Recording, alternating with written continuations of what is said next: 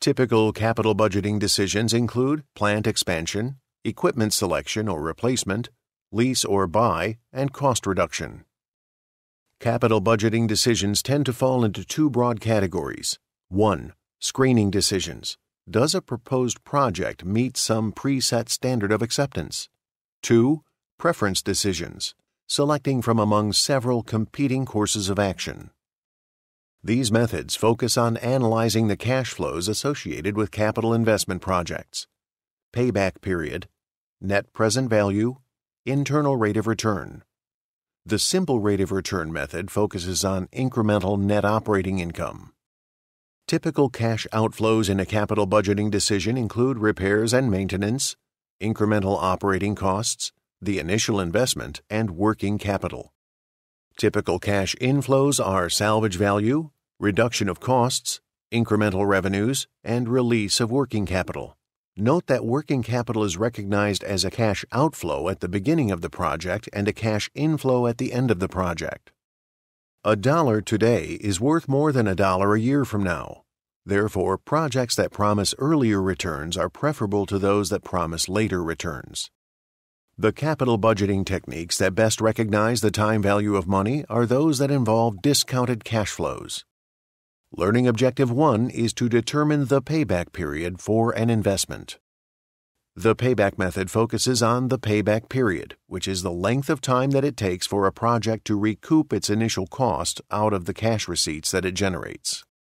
The payback method analyzes cash flows, however, it does not consider the time value of money. When the annual net cash inflow is the same every year, the formula for computing the payback period is the investment required divided by the annual net cash inflow. Management of the daily grind wants to install an espresso bar in its restaurant that 1. costs $140,000 and has a 10 year life, 2. will generate annual net cash inflows of $35,000. Management requires a payback period of 5 years or less on all investments. What is the payback period for the espresso bar? Investment required of $140,000 divided by $35,000 annual net cash inflow equals 4 years. According to the company's criterion, management would invest in the espresso bar because its payback period is less than 5 years. Consider the two investments. Which project has the shortest payback period? Project X has a payback period of 2 years. Project Y has a payback period of slightly more than two years. Project X has a payback period of two years. Project Y has a payback period of slightly more than two years. Which project do you think is better? Shortcomings of the payback method include it ignores the time value of money. It ignores cash flows after the payback period. A shorter payback period does not always mean a more desirable investment. Strengths of the payback method include it serves as a screening tool. It identifies investments that recoup cash investments quickly. It identifies products that recoup initial investment quickly.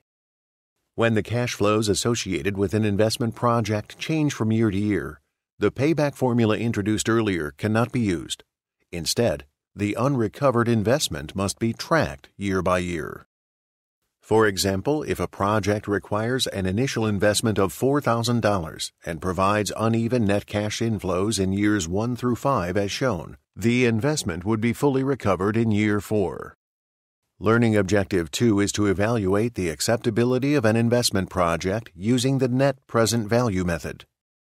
The net present value method compares the present value of a project's cash inflows with the present value of its cash outflows. The difference between these two streams of cash flows is called the net present value. Two simplifying assumptions for the net present value method are 1. All cash flows other than the initial investment occur at the end of periods. 2. All cash flows generated by an investment project are immediately reinvested at a rate of return equal to the discount rate. Lester Company has been offered a five year contract to provide component parts for a large manufacturer. Cost and revenue information is as provided on the slide. At the end of five years, the working capital will be released and may be used elsewhere by Lester. Lester Company's discount rate is 11%. Should the contract be accepted? The annual net cash inflow from operations of $80,000 is computed as shown.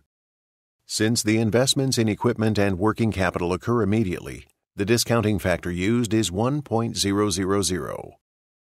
The present value factor for an annuity of $1 for 5 years at 11% is 3.696. Therefore, the present value of the annual net cash inflows of $80,000 per year is $295,680. Alternatively, the individual net cash inflows could be discounted using the related five separate present value of a single payment of $1 factors. This method would produce the same present value of $295,680. The present value factors in Appendix 12b are rounded to three decimal points. Another approach is to use Microsoft Excel's NPV function to perform these calculations using unrounded discount factors. The present value factor of $1 for 3 years at 11% is 0.731. Therefore, the present value of the $30,000 cost of relining the equipment in 3 years is $21,930. The present value factor of $1 for 5 years at 11% is 0.593. Therefore, the present value of the $5,000 salvage value of the equipment is $2,965. The total present value of the release of the working capital and the salvage value of the equipment is $62,265. The net present value of the investment opportunity is $76,015. Accept the contract because the project has a positive net present value is positive. Denny Associates has been offered a four year contract to supply the computing requirements for a local bank with the cash flow information as given. The working capital would be released at the end of the contract. Denny Associates requires a 14% return. What is the net present value of the contract with the local bank? The net present value of $28,230. This is the complete analysis of this project. Let's look at another way to calculate the NPV. Lester Company has been offered a five year contract to provide component parts for a large manufacturer with the given cost and revenue and information. At the end of five years, the working capital will be released and may be used elsewhere by Lester. Lester Company's discount rate is 11%. Should the contract be accepted? Since the investments in equipment of $160,000 and working capital of $100,000 occur immediately, the discounting factor used is 1.000. The total cash flows for years 1 through 5 are discounted to their present values using the discount factors from Exhibit 12B 1. For example, the total cash flows in year 1 of $80,000 are multiplied by the discount factor of 0.901 to derive this future cash flow's present value of $72,080. As another example, the total cash flows in year 3 of $50,000 are multiplied by the discount factor of 0.731 to derive this future cash flow's present value of $36,550. The net present value of the investment opportunity is $76,015. Notice this amount equals the net present value from the earlier approach. Once you have computed a net present value, you should interpret the results as follows 1. A positive net present value indicates that the project's return exceeds the discount rate. 2. A negative net present value indicates that the project's return is less than the discount rate. If the net present value is positive, then the project is acceptable because it promises a return greater than the required rate of return. If the net present value is zero, then the project is acceptable because it promises a return equal to the required rate of return. If the net present value is negative, then the project is not acceptable because it promises a return less than the required rate of return. The company's cost of capital is usually regarded as the minimum required rate of return. The cost of capital is the average return the company must pay to its long term creditors and stockholders. The net present value method automatically provides for the return of the original investment. Carver Hospital is considering buying an attachment for its x ray machine with the given cost, life, and cash inflows. No investments are to be made unless then have an annual return of at least 10%. Will Carver want to make the investment in the attachment? Notice that the net present value of the investment is zero. This implies that the cash inflows are sufficient to recover the $3,169 initial investment and to provide exactly a 10% return on the investment. Learning Objective 3 is to evaluate the acceptability of an investment project using the internal rate of return method. The internal rate of return is the rate promised by an investment project over its useful life. It is computed by finding the discount rate that will cause the net present value of a project to be zero. It works very well if a project's cash flows are identical every year. If the annual cash flows are not identical, a trial and error process must be used to find the internal rate of return. If the internal rate of return is equal to or greater than the minimum required rate of return, then the project is acceptable. If it is less than the minimum required rate of return, then the project is rejected. When using internal rate of return, the cost of capital acts as a hurdle rate that a project must clear for acceptance. Decker Company can purchase a new machine at a cost of $104,320 that will save $20,000 per year in cash operating costs. The machine has a 10 year life. What is the internal rate of return on the investment? Future cash flows are the same every year in this example, so we can calculate the present value factor for the internal rate of return as investment required divided by annual net cash inflows. $104,320 divided by $20,000 equals 5.216. Using the present value of an annuity of $1 table, find the 10 period row, move across until you find the factor 5.216. Look at the top of the column and you find a rate of 14%. If Decker's minimum required rate of return is equal to or greater than 14%, then the machine should be purchased. The expected annual net cash inflow from a project is $22,000 over the next five years. The required investment now in the project is $79,310. What is the internal rate of return on the project? $79,310 divided by $22,000 equals 3.605, which is the present value factor for an annuity over five years when the interest rate is 12%. The net present value method is often simpler to use. The internal rate of return method makes a questionable assumption that cash inflows are reinvested at the internal rate of return. If the internal rate of return is high, this assumption may be unrealistic.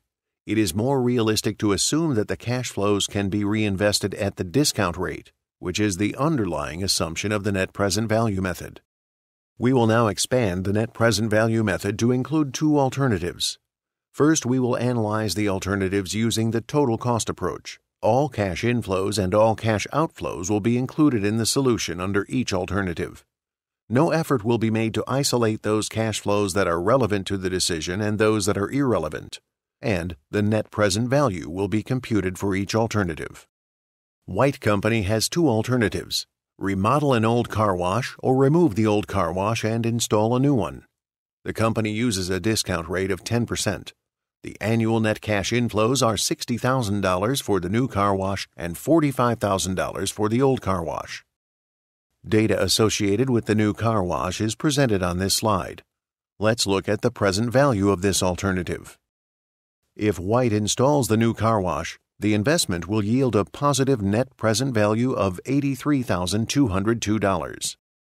If White remodels the existing car wash, the remodeling costs would be $175,000 and the cost to replace the brushes at the end of six years would be $80,000. Let's look at the present value of this second alternative.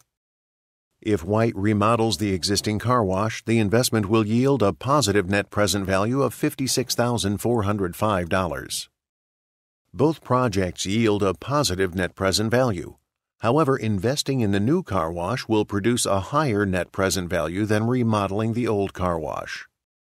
In decisions where revenues are not directly involved, managers should choose the alternative that has the least total cost from a present value perspective. Home Furniture Company is trying to decide whether to overhaul an old delivery truck now or purchase a new one. The company uses a discount rate of 10%. The information pertaining to the old and new trucks is as shown. The net present value of buying the new truck is $32,883.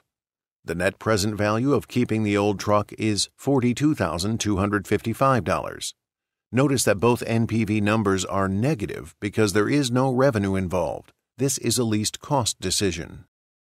Home Furniture should purchase the new truck. The net present value in favor of purchasing the new truck is $9,372. Learning Objective 4 is to evaluate an investment project that has uncertain cash flows. Assume that all of the cash flows related to an investment in a supertanker have been estimated, except for its salvage value in 20 years. Using a discount rate of 12%, management has determined that the net present value of all the cash flows, except the salvage value, is a negative $1.04 million. How large would the salvage value need to be to make this investment attractive?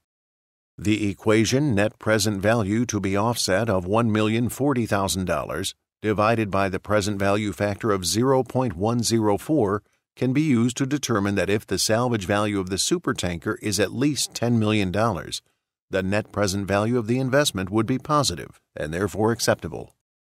Bay Architects is considering a drafting machine that would cost $100,000, last four years, provide annual cash savings of $10,000, and considerable intangible benefits each year. How large, in cash terms, would the intangible benefits have to be per year to justify investing in the machine if the discount rate is 14%? The net present value of the investment is $70,860.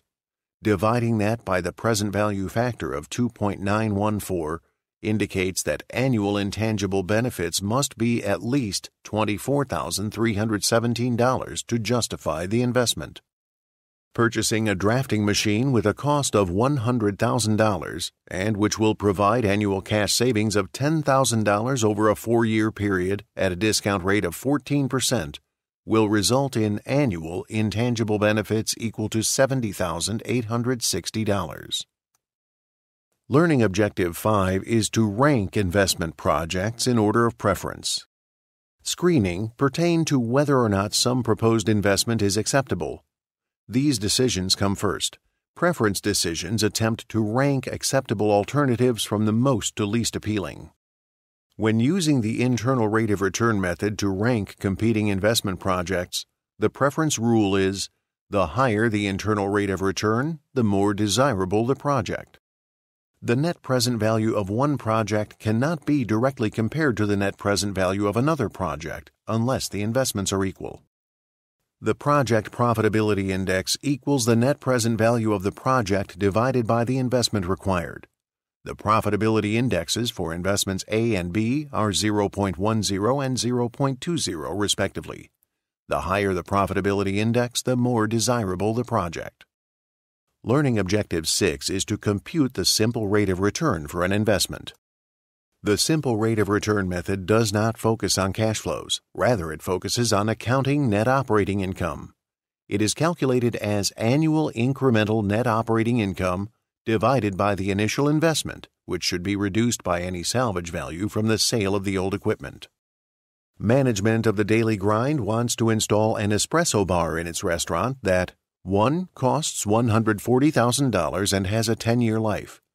Two will generate incremental revenues of $100,000 and incremental expenses of $65,000, including depreciation. What is the simple rate of return on the investment project? The simple rate of return is equal to $35,000 divided by $140,000, or 25%. Shortcomings of the simple rate of return include it ignores the time value of money. The same project may appear desirable in some years and undesirable in other years. When investment center managers are evaluated using return on investment, ROI, a project's simple rate of return may motivate them to bypass investment opportunities that earn positive net present values. A post audit is a follow up after the project has been completed to see whether or not expected results were actually realized. End of chapter 12.